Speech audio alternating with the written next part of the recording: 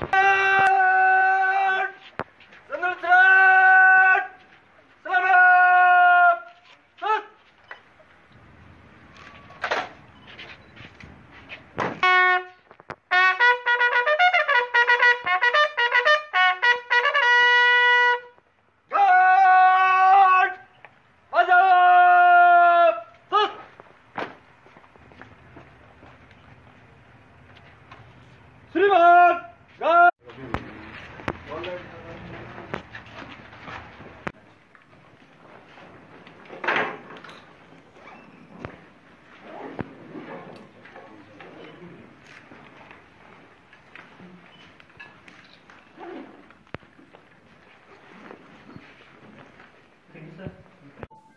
नहीं निरीक्षण नहीं, ये आज की विज़िट एक एक फैमिलाइजेशन विज़िट है इस ज़िले के बारे में जानने के लिए। सबसे पहले तो मैं जवानों से मिलकर संपर्क सभा लूँगा, पुलिस लाइन के ग्राउंड होगा और फिर एक क्राइम मीटिंग होगी जिसमें सभी एस एच अपने अपने थाने क्षेत्र के बारे में बताएँगे।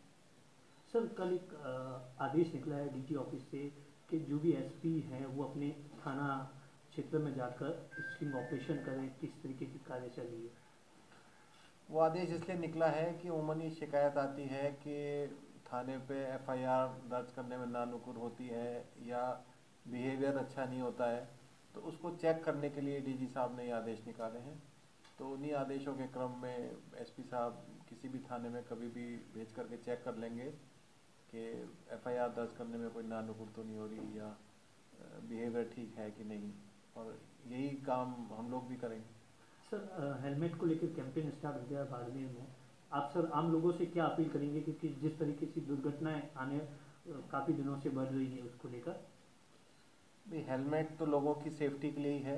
अमूमन देखा जाता है, लोग हेलमेट लगाते हैं पुलिस के चलान से बचने के लिए। जबकि अप्रोच होनी चाहिए सेफ्टी के लिए। ऐसे कई सारे इंस्टेंसेज आए हैं, जहाँ पे हेलमेट होने की वजह से जान बच गई है। और कई बार ऐसा होता है कि हेलमेट न होने की वजह से छोटे से एक्सीडेंट से भी जानलेवा साबित हो जाता है।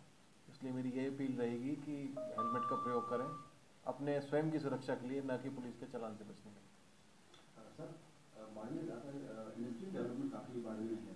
सो पहले पार्टी पुलिस की तरफ़ से सीएस की तरफ़ से इंडस्ट्रियल क्राइम है उनको डील करने आ रही है सब फाइव प्रपोजल इस तरह का कोई बनाया गया भेजा गया था तो उस बारे में मेरे को अभी जानकारी नहीं है कि क्या प्रपोजल था। अगर कुछ भेजा गया तो उसको फॉलो अप करेंगे। Okay sir. Thank you